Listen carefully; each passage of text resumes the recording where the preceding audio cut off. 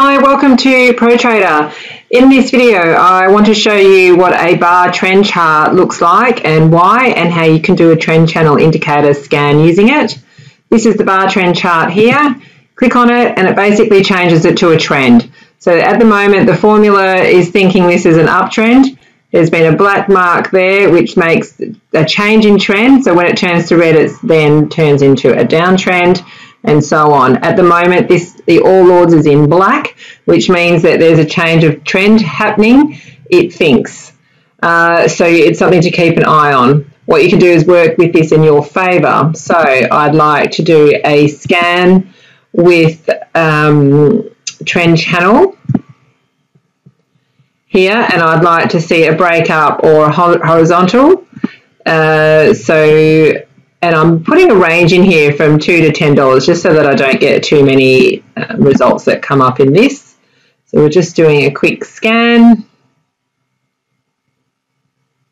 Okay, we get 11 results.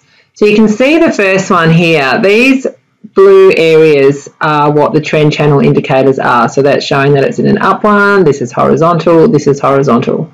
What I like about this one is that there is now a black line here which change that means that there's a change. And it's also broken out the top of a horizontal horizontal tray uh, trend indicator. So that's not a bad looking chart. I'd probably throw that on my watch list to see what it was going what it would do. We keep scanning through here. There's only 11 some of them are going to be rubbish as you know. It doesn't mean everything that comes up in the scan is correct but you just flick through until you see something that looks fairly decent that one's interesting. That's showing there that it might change. I can't see it, but you could keep an eye on that one.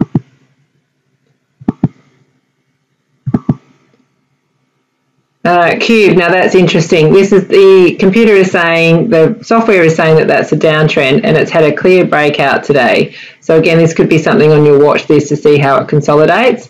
But you can see every time it's red, then there's black, it changes to blue. It's even done it here, it continued going up. Then you had a change here and it went down. So this could indicate the change here.